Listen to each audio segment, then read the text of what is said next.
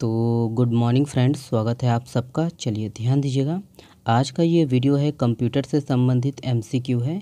ये वीडियो आपका hostel warden, पटवारी, जितने भी स्टेट लेवल जो एग्ज़ाम है, जिसमें कंप्यूटर से संबंधित प्रश्न पूछे जाते हैं, सभी के लिए इम्पोर्टेंट है। ध्यान दीजिएगा, वीडियो को कंप्लीट देखना है और ये वीडियो केवल वही देखें जिसको ज़रूरत है, ओके? चलिएगा, ध्यान दीजिएगा कंप्लीट देखना है दोस्तों, पहला प्रश्न। देखिए, निम्न में से कौन प्रोग्रामों का समूह है? तो कौन सा है जो प्रोग्रामों का समूह है? यहाँ पर ऑप्शन है तो इसका जो सही आंसर है दोस्तों, ऑप्शन नंबर ए है एसेसरीज़ ध्यान दीजिएगा एसेसरीज सभी में होता है। Window XP window seven okay ध्यान दीजिएगा। तो याद रखने की प्रोग्रामों का समूह है एसेसरीज और ये याद रखने की विंडो के साथ आता है ओके तो ये विंडो के साथ इनबिल्ड होता है ऑपरेटिंग सिस्टम के साथ, याद रखिएगा। और ये कई यूटिलिटी प्रोग्रामों का एक समूह होता है दोस्तों, जिसमें निम्न प्रोग्राम होते हैं। ध्यान दीजिएगा। याद रखने की ब्लूटूथ फ़ाइल ट्रांसफ़र इसी के अंतर्गत होता है। Calculator, command prompt, connect to a network project, getting started math input panel notepad भी इसी के अंतर्गत होता है। ध्यान दीजिएगा इंपॉर्टेंट है। पेंट हो गया, है ना? Remote desktop connection, run, snipping tool, sound recorder, sticky notes, ठीक है?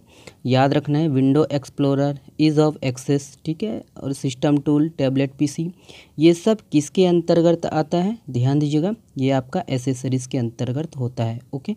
तो याद रखना है, पूछा जा सकता है एग्ज़ाम में, ओके? चलिए। देखिए, स्थानीय डाटाबेस को ये भी कहा जाता है तो क्या कहा जाता है देख लीजिएगा। करेक्ट आंसर है दोस्तों ऑप्शन नंबर ए है जियो डाटाबेस ध्यान दीजिएगा, जियो डाटाबेस कहा जाता है। चलिए, पहले तो हम लोग ये समझते हैं कि डाटाबेस होता क्या है। ध्यान दीजिएगा तो डाटाबेस दोस्तों, याद रखना है, कई सारे डेटा का जो है एक समूह होता है, जो आंकड़ा होता है ना एक एक करके जो सूचना होता है, उसको इकट्ठा किया जाता है, ठीक है? एक साथ रखा जाता है, उसको ही क्या बोलते हैं? डाटाबेस कहा जाता है, ठीक है?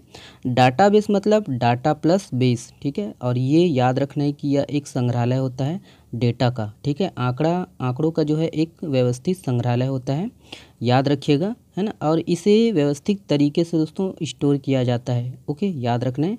और ज़रूरत पड़ने पर इस डाटा को आसानी से एक्सेस किया जाता है। याद रखिएगा। ओके?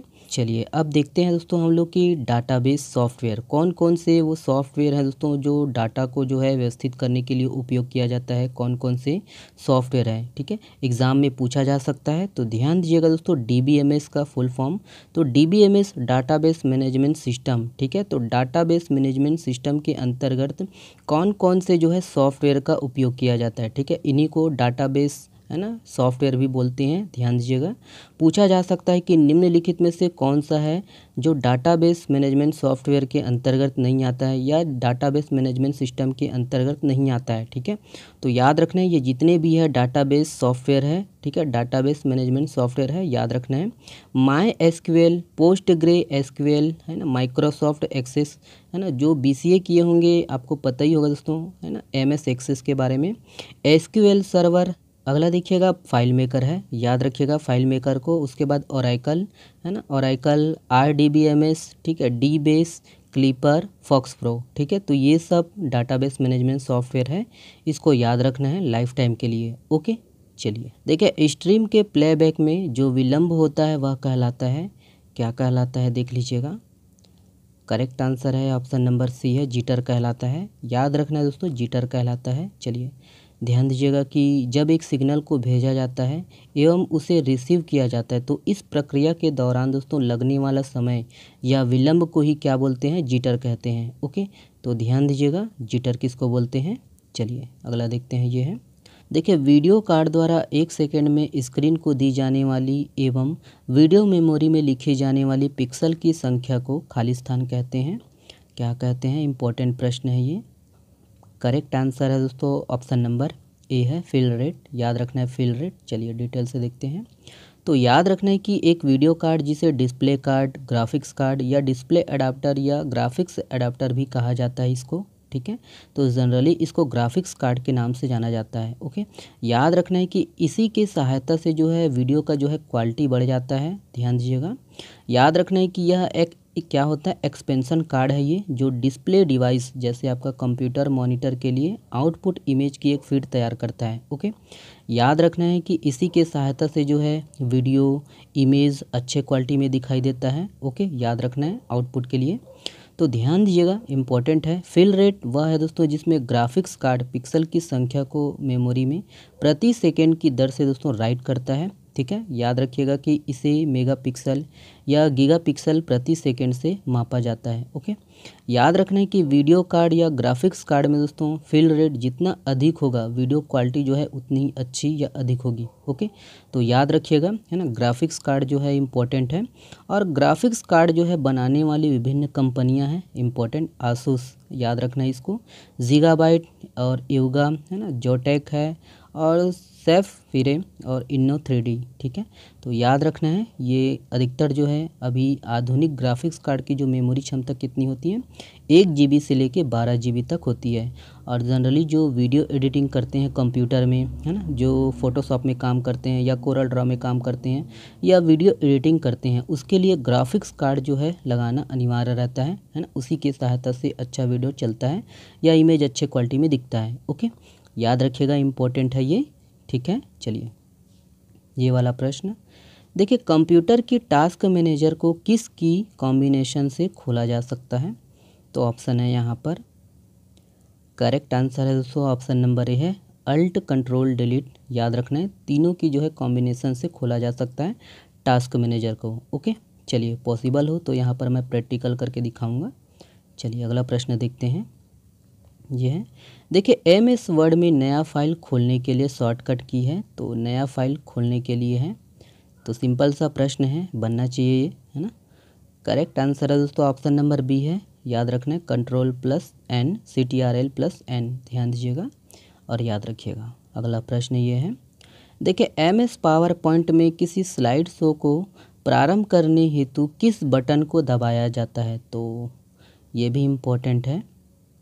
करेक्ट आंसर है दोस्तों, ऑप्शन नंबर डी है एफ़ फाइव को दबाया जाता है। ध्यान दीजिएगा स्लाइड शो के लिए। तो याद रखिएगा, है ना? तो ये शॉर्टकट की है, ध्यान दीजिएगा। कंट्रोल प्लस एफ़ वन से शो हाइट रिबन होता है, जो ऊपर में होता है ना मेनू बार के नीचे, ठीक है? और उसके बाद C T R L plus F two print preview देखने के लिए एफ़ ट्वेल्व सेव करने के लिए, ठीक है? सेव एस डायलॉग्स बॉक्स खोलने के लिए एफ़ ट्वेल्व ध्यान दीजिएगा। कंट्रोल प्लस पी है ना? प्रिंट स्लाइडेस स्लाइड को जो है प्रिंट देने के लिए।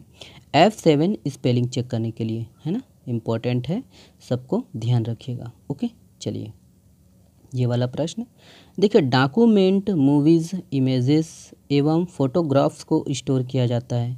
तो किसमें स्टोर किया जाता है?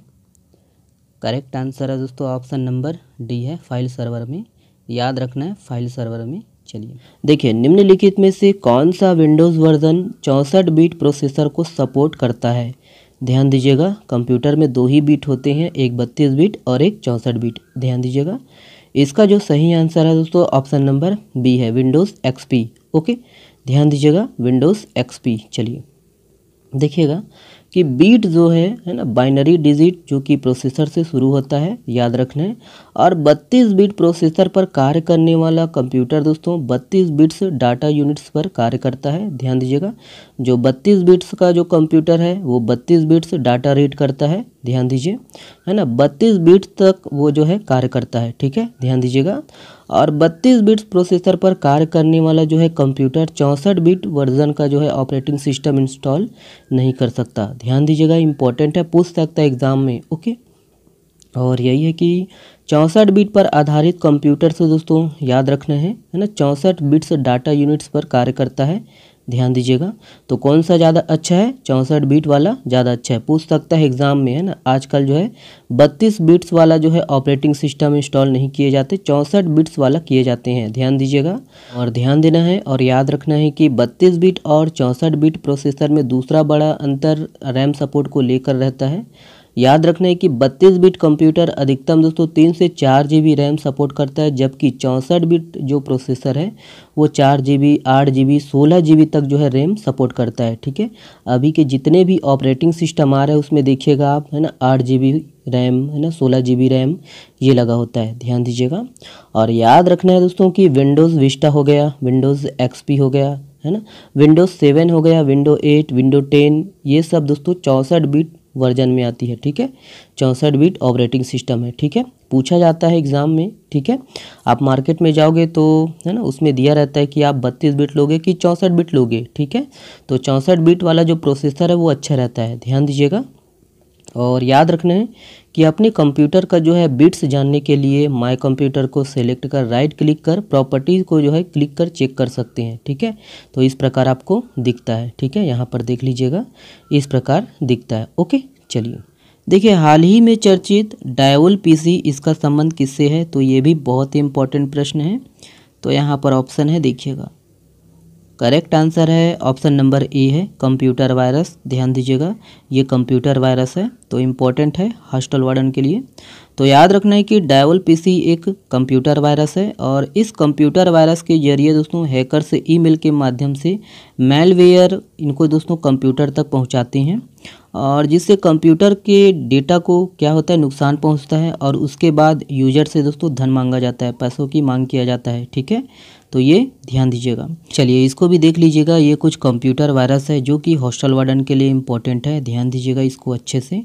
निम्डा आई लव यू स्टाकनेट कॉन्फ्लिकर है, वेल्ची है माइडूम ध्यान दीजिएगा, मॉरिस वर्म है एस क्यू स्लेमर है, और वही है क्रिप्टोलॉकर, है ना टिनबा याद रखिएगा, स्लायर है, स्टॉर्म वार्म है है ना, ट्रोजन हॉर्स, एडवार ठीक है? ये सब आप पढ़ लीजिएगा इम्पोर्टेंट है ये सब, ठीक है? एग्ज़ाम के दृष्टिकोण से मेलिसा कोड रेड ठीक है? और भी है, देखिए हैप्पी बर्थडे जोशी, ये इम्पोर्टेंट है, भारत में दिखाई देने वाला ये पहला वायरस है, याद रखिएगा।